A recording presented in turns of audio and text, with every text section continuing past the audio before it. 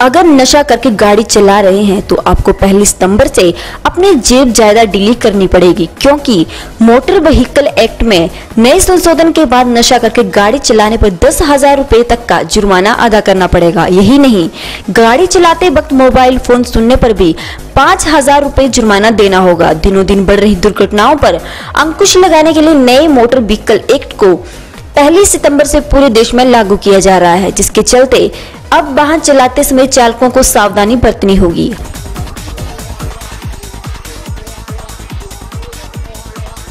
Hamirpur DSP Hitesh Lakhanpal ने बताया कि पहली सितंबर से नए मोटर व्हीकल एक्ट के तहत जुर्माना जुर्माना बढ़ाया जाएगा और सबसे कम जुर्माना 500 होगा, जबकि सबसे ज़्यादा शराब पीकर वाहन चलाने पर दस हज़ार रूपए होगा। उन्होंने बताया कि नए मोटर व्हीकल एक्ट के अनुसार सभी पुराने फाइन में वृद्धि होगी, ताकि यातायात नियमों की कड़ाई से लोग पालन कर सके। आपको बता दें कि अभी तक पुराने मोटर व्हीकल एक्ट के अनुसार शराब पीकर गाड़ी चलाने पर पकड़े जाने पर केवल दो से ढाई हज़ार रूपए तक का जुर्माना अदा करना पड़ता था और मोबाइल फ़ोन सुनने पर केवल एक हज़ार देकर ही छुटकारा हो जाता था। लेकिन नए एक्ट के अनुसार ये जुर्माना पाँच गुना ज़्यादा चुकाना होगा। साथ ही भी बिना कागजात, बिना हेलमेट के भी भारी जुर्माना देने के लिए एक्ट में प्रावधान किया गया है ताकि यातायात नियमों के पालन में कोई कोताही न बरते।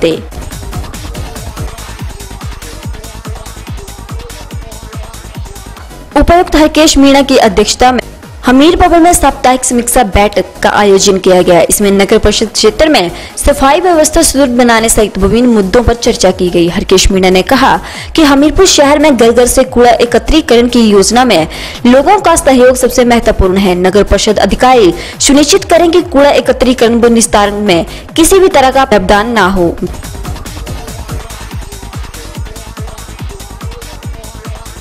व्यावसायिक परिसरों से कूड़ा कचरा एकत्र करने के लिए 10 बजे तक का समय निर्धारित किया गया है। शहर में भारी मात्रा में कूड़ा कचरा पैदा करने वाले संस्थानों व परिसरों की पहचान कर इसके निस्तारण का भी उचित व्यवस्था की गई है। उन्होंने आग्रह किया कि नगर परिषद अपनी आय व व्यय के अंतर को कम करने तथा आय में बढ़ोतरी के लिए नई कार्य योजनाएँ बनाए और इसके क्रियान्वयन के लिए ठोस कदम उठाए। उन्होंने नगर परिषद को निर्देश दिए कि हमीरपुर बस अड्डे के समीप बनी दुकानों के आवंटन इत्यादि के बारे में दो दिनों के भीतर ब्यौरा प्रस्तुत करें और सड़कों पर अतिक्रमणकारियों के विरुद्ध कड़ी कार्रवाई अमल में लाने के लिए शीघ्र कदम उठाए जाएँगे।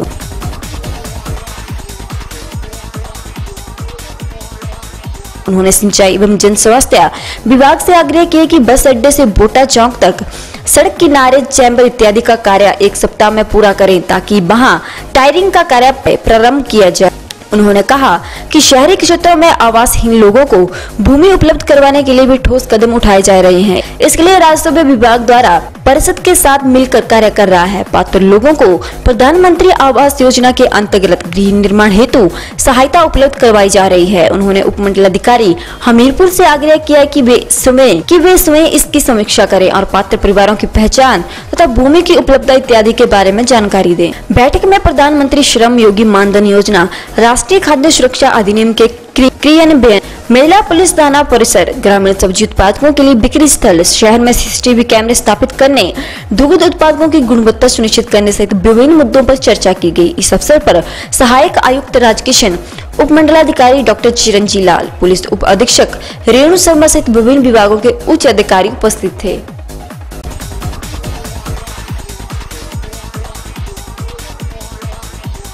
जिला कांगड़ा स्थित सुप्रसिद्ध शक्तिपीठ ज्वालामुखी मंदिर में पुजारी वर्ग द्वारा पूर्व केंद्रीय वित्त मंत्री अरुण जेटली की आत्मा शांति की कामना के लिए माँ के चरणों में हवन और प्रार्थना की गई। उन्होंने कहा कि भारतवर्ष के लिए बहुत प्रिय नेता थे। उन्होंने हमारे भारतवर्ष के विकास के लिए बड़ा योगदान दिया।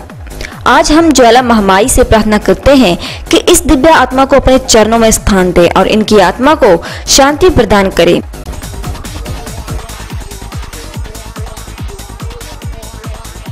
अखिल भारतीय विद्यार्थी परिषद ने हिमाचल प्रदेश भर में प्रदेश व्यापी आंदोलन का आगाज़ कर दिया है। इसी कड़ी में सोलर इकाई द्वारा भी धरना प्रदर्शन किया जा रहा है। धरना प्रदर्शन के दौरान एबीवीपी द्वारा प्रदेश सरकार के खिलाफ जमकर नारेबाजी की गई। कार्यकर्ताओं का कहना है कि छात्र हितों को लेकर वे किसी भी तरह का समझौता नहीं करने वाले। उन्होंने कहा कि छात्रों की जो भी मांगे हैं, वे प्रदेश सरकार को तुरंत पूरी करनी चाहिए।